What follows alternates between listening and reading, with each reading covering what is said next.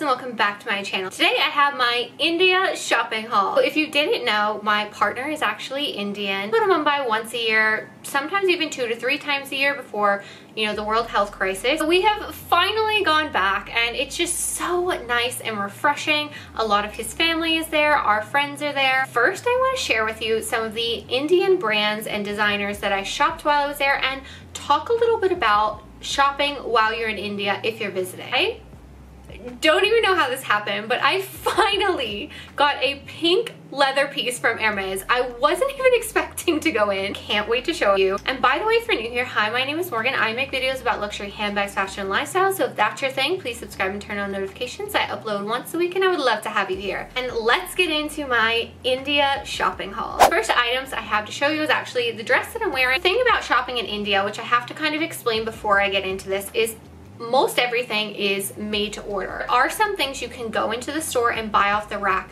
but even most of the time when you go in a store and it looks full, those are just samples and then they take your measurements and make the garment to your size or order you the standard size that fits your measurements.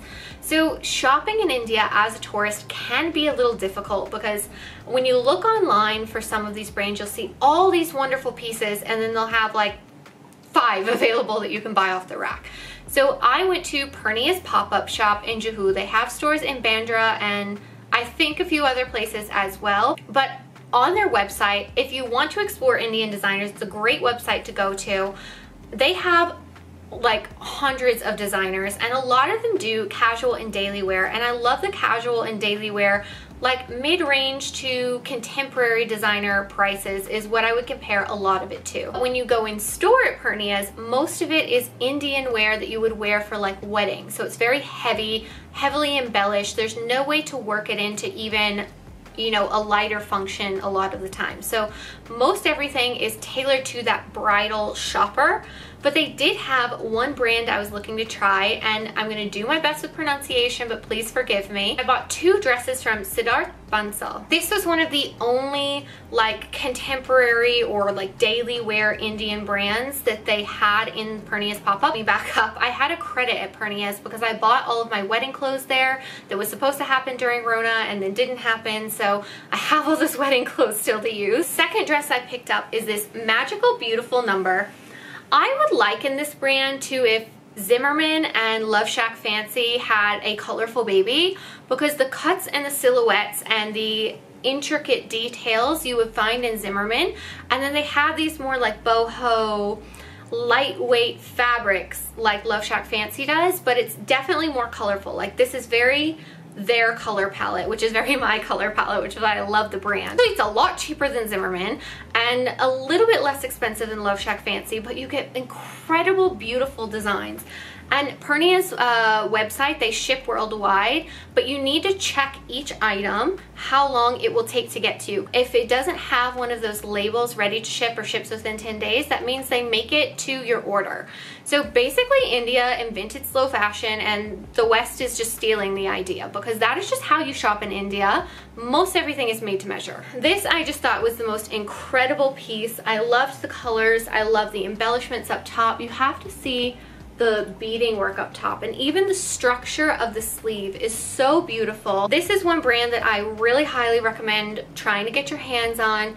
Pernia's has it. I believe AZA has it as well. I will link all these websites below. You shop these brands that are made in India, designed in India, you get better price points and even more unique designs. So I needed to pick up like a little accessory so I could just finish off my full credit while I was there. So I picked up little bag. It looks almost like the Jimmy Choo Bon Bon, but this is what I like. It's like inspired by, but not a copy. It's definitely not the same shape.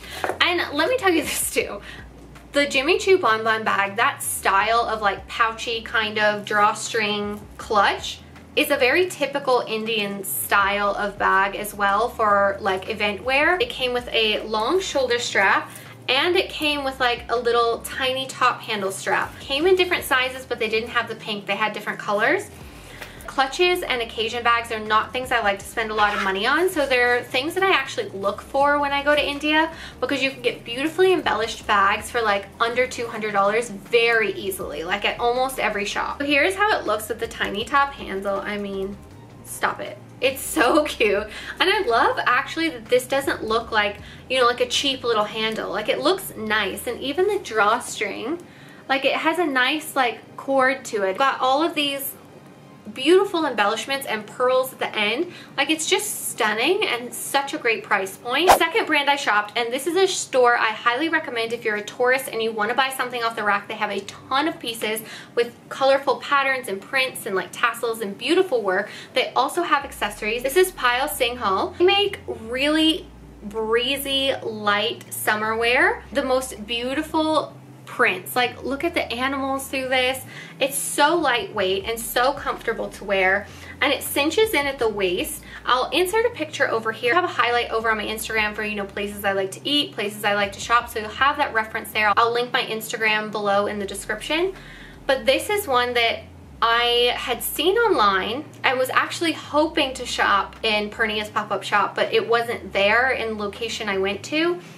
So I was going to a few other stores. There's a couple stores where you can buy things off the rack right in the same corner as this shop. And I popped in and you could buy pretty much everything off the rack. And the nice thing is, is a lot of like the kaftans and the oversized pieces are like a one size piece. So there's flexibility and like adjustments in the piece alone so it's easier to stock those pieces where you don't have to like order your size. But In terms of being size inclusive, a lot of Indian brands will make to measure your size no matter what your size is. So some of them have some sizing restrictions, but mostly if you're open and you have the time for a made to measure piece, you can get what you want in your size in general. And of course I had to buy like a little bag because it was just the perfect match and I love the idea of having the combination. This is a very traditional style of bag for India but with a little pizzazz with the gold tassels and the beading on the front of the pattern. So you'll actually see these worn with Indian wear like for events. Not super crazy, but you can find these in street markets, in malls, from different designer brands. You can find this style of bag at pretty much every price point. This is one that you definitely don't have to spend designer price if you're looking for just like a typical India kind of souvenir and you want like a fashion souvenir, you can find this this style bag in so many shops at so many different price points.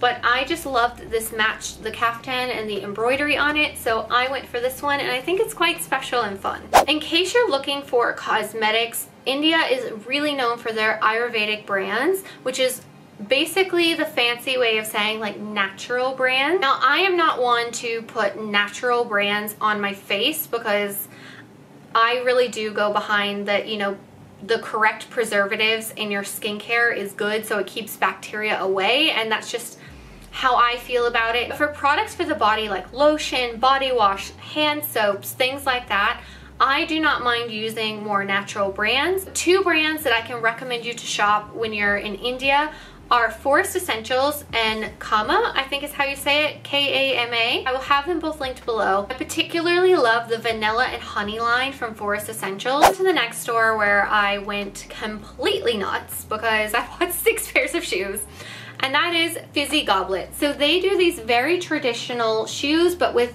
very not typical embroidery. So like you can find this style of shoe at the market, at you know the regular high street, so to say, shops. Like you can find them from designers. You can find this style shoe at every price point. Like at the markets, you can get them for like under $15. They're super cheap, a great souvenir. If you want something special and whimsical, Fizzy Goblet is the brand. I love because it's like under the sea. It reminded me of like a little mermaid vibe. These are gonna look great with jeans. They're gonna look great with Indian wear. These are handmade as well. So something with the sizing is that some of these in the exact same style, I took a 39 and some of them I took a 40. If you are in between sizes, I would say size down. They do stretch and open up. But if you can go try them on and you can shop in person, that is best because you'll get the right fit.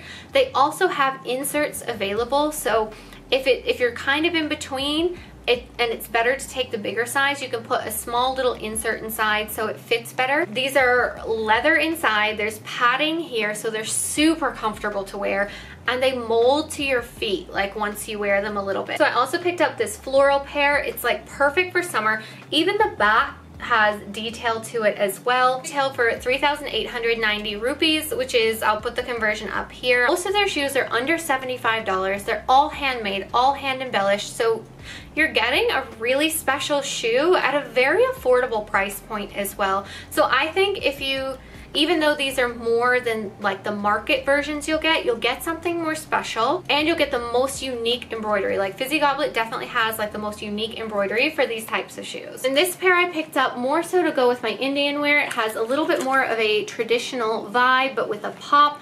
I loved the pink color. The time of me shopping, their newest range was a zodiac sign. So they have the plain ones to try on in the store and then they attach whatever your zodiac is in the front.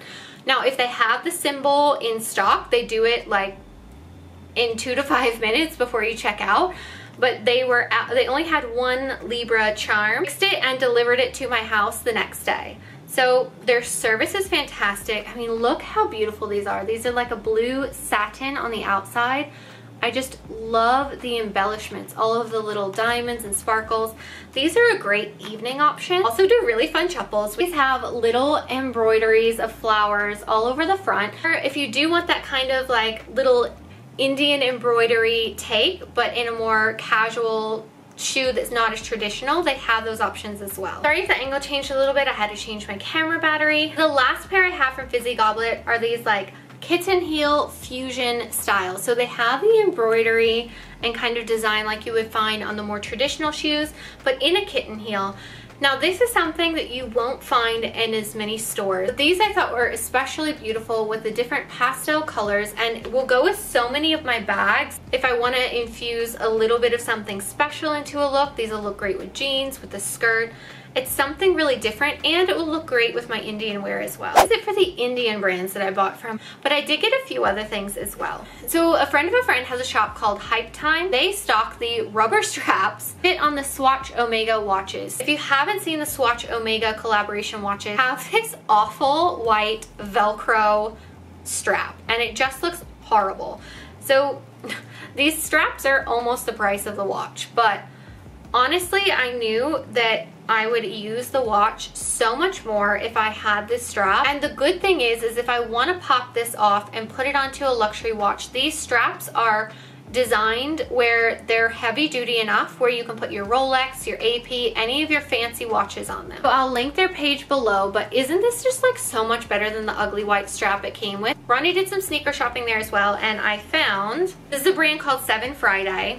This is just the shopping bag for it. But I found these amazing sunglasses. They're really pricey though. Actually an expansion of a watch brand and they usually do like limited watches and they have some really colorful, fun, kind of rounded square pieces. And I have been looking for a pink sunglass for a while now and I just love these. I'm sure now you can see my whole setup. But these I thought were just super cool. And you can kind of see like the skeleton of the hardware inside. This is reminiscent of how their watches look as well. They reminded me of like jelly beans, which I think is really fun for summer. And now for what you all have been waiting for.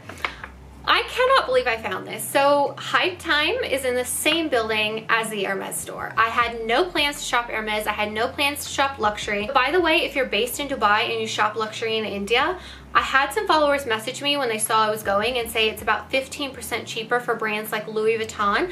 And even I confirmed in the Hermes store, um, their price points are lower than the Dubai price points of Hermes as well. It's not a massive savings like if you bought it in Europe. I popped into there because it was completely empty and I was like, we're here, why not? Let me just shoot my shot because quite honestly like you guys have seen the video I'll pop it up here if you have it I talked about shopping I think it was nine, eight or nine different stores over the summer and not being able to get a single colored leather piece in India, I found a pink piece. First, I actually did pick up a small item from the duty-free Hermes shop in Dubai on my way to India. This is a Twilly from seasons past. I was shocked they had it and it's like the Jungle Hearts, I believe it's called. It has the cheetah on one side and it has the hearts on the other. I was hoping they had the pastel pink with the blue hearts, but of course they didn't. But they had about three colors of this in the Dubai Duty Free. So worth a look. I was really happy to find this because I think this will actually look really nice on my Kelly as well because it has the blue in it Now, we have to get to the main event. Okay, I want you to comment below and tell me what you think this is. This is actually something that I asked for in almost every store in Europe and I was even offered one in blue with a red buckle in the gold Hermes color. Obviously those were colors I would not use so I didn't take it. So if you've seen the other video you probably know what this is but you're gonna be shocked at the color. I am over the moon. So let's get into this unboxing. They were so nice too. Also, I was offered the three bags that were available. I was offered, it was a black Lindy, a taupe kind of color Evelyne, the bigger size, and they had the, I'm gonna butcher this, Bodily, Bodily, I don't know how you say it. They had the one with the three, or is it three or four colors? It was like blue, but there were like different shades of blue on it. I'll try to find a picture and pop it up here. And then I saw this on display and it was available for purchase. It wasn't display only. So we have this tiny little dust bag. Oh, it's upside down. And here is my 5P Pink Constance Slim. So this is the one with the belt slip on the back so you can slide this onto a belt. And you guys know, I am a multi-purpose queen, so this is going to be a belt bag. I'm gonna use a twilly as a handle. I'm gonna add a strap to it. I've already found a company on Etsy that has the same pink color uh, additional strap, so I'm gonna be ordering that. So I will be showing you on Instagram and TikTok different ways to wear this and style it and the additional pieces that I get, but I'll go ahead and link that Etsy store down below. But oh my God, guys, it is the most gorgeous pink. You're supposed to just push underneath and it comes open. And with the slim wallet, you also get this little coin pouch as well. This is the inside hard slip pocket in the back and the front. I really see this very similarly to my little Chanel going out bag. Once I add a strap to this, I think it's gonna have very similar functions in that you can put the cards in the side, put a lipstick, a car key, and this is your little evening bag out. And I liked how this has silver, this has gold, so I wasn't repeating something because they're very similar sizes, they're very occasional use bags, so I feel like they're different enough that it made sense for my collection. I just cannot believe I found this wallet and it was in this color because I was like dreaming of this wallet because I feel like for the Constance for me, I like that it's on a smaller piece because I find the hardware a little bit bold and a little bit overwhelming that from the Constance line, this was the one piece that I really wanted to get. I'm not really after a Constance bag. I'm after a Roulis instead. They're very similar in sizing, but the hardware is very different. So let's peel off these stickers because she is staying in my collection and you don't want the hardware to oxidize, obviously. So here you can even see, like this is the shiny hardware versus with the sticker. The hardware even has a completely different look when you peel off the sticker. Very hard to do with my nails, by the way. And there we have it, the shiny, beautiful hardware. And I don't know why I held this while I did that, but now I'm gonna talk price. I tried to find the current US price and the most updated I could find was like 2,650 I believe. I couldn't find it on the US website to give the exact price so if you've bought this within the past few months in the US please let us know the price. Keeping in mind that in the US, there's anywhere from like 5 to 10% sales tax depending on what state. In India, this is 2.4 lakh rupees, which is the same as saying 240,000 rupees. When you do the exchange on that, it comes out to just around $3,000. So it might be just slightly above the US price. If you have bought this in, the, in Dubai, also tell us the price so we can see the difference. But when I asked, he said the price is more in Dubai. And it's definitely more than if you buy it in Europe, but uh, I mean, it's always cheapest in Europe. So I was happy that even though I couldn't get this in Europe, like I literally walked into the store. It's the only thing I bought. I didn't have a spend there before. Good shopping experience. I didn't have to wait in a long line. I feel it was a fair price. And the pink ones go anywhere from $3,200 to $3,800 pre-love. So even going pre-love, I would have spent more. Well, my little Hermes collection is growing. This is my first pink leather piece and I am hooked. I mean, it's stunning. I am so happy that I found something pink in store store. I didn't have to buy it pre-loved.